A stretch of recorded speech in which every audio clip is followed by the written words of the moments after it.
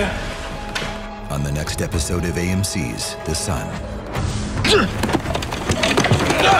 Don't you want him? Would you take Mr. McCullough out, put a bullet in his head, and bury him?